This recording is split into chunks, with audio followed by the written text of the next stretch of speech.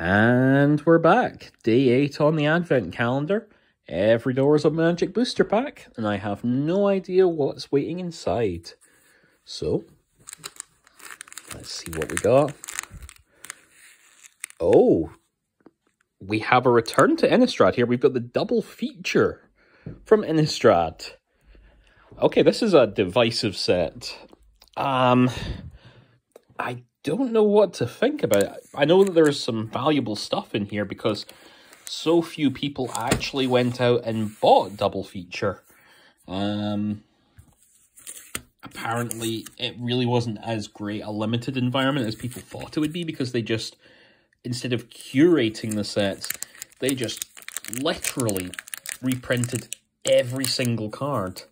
So you had two copies of Evolving Wilds and at least a couple of other cards that just ended up being uh, in multiple slots. So it was hectic, to say the least, as a draft environment. It just ended up really cluttered. But let's start. Although I have said my thoughts on the black and white of Innistrad, there are some cards that definitely look nicer than others and the embossed frame certainly is great.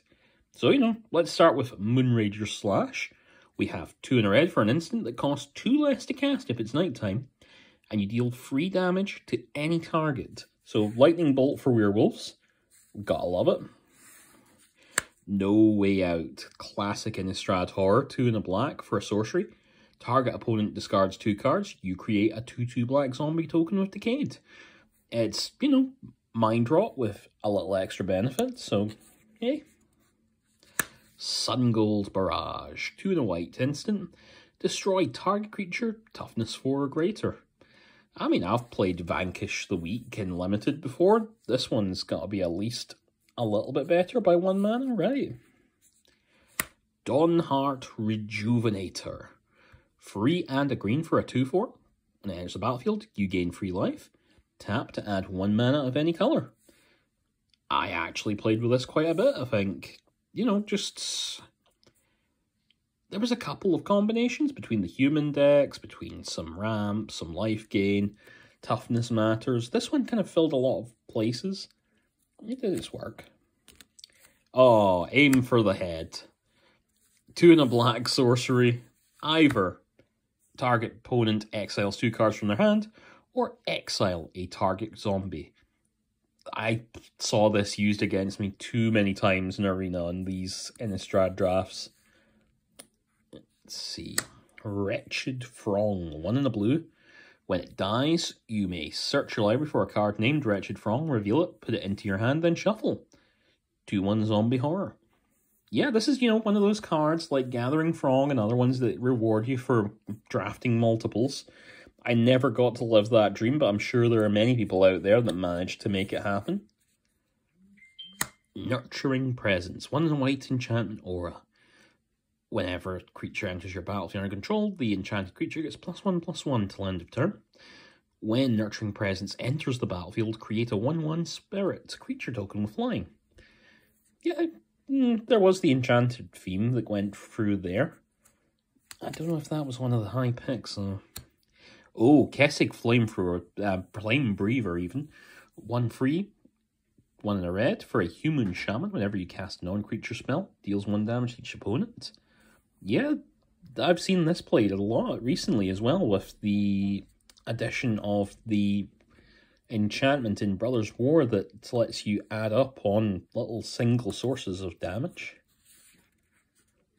Sunrise Cavalier. One red, white for a free, free human knight with trample and haste. If it's neither day or night, it becomes day as it enters the battlefield. Whenever day becomes night or night becomes day, put a plus one counter on target creature you control. I mean, it's all the stats right there. It's a free free for free with trample and haste, and it gets bigger just as things happen. Yeah, I think this was a pretty solid one just for a bit of white red aggro. Purifying Dragon. Free red red for a flying dragon for free. Whenever attacks, deals one damage to target creature defending opponent controls. If that creature is a zombie, the dragon deals two damage to it instead. You gotta love flyers and limited. Lunar Rejection, Cleave. People did not like this mechanic. One in a blue. Cleave cost, you may instead pay free in a blue. So return target wolf or werewolf creature to its owner's hand, draw a card.